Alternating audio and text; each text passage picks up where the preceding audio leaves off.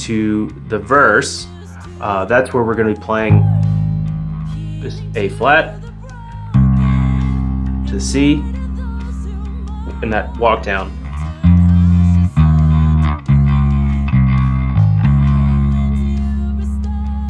And then for the second half of that verse is where bass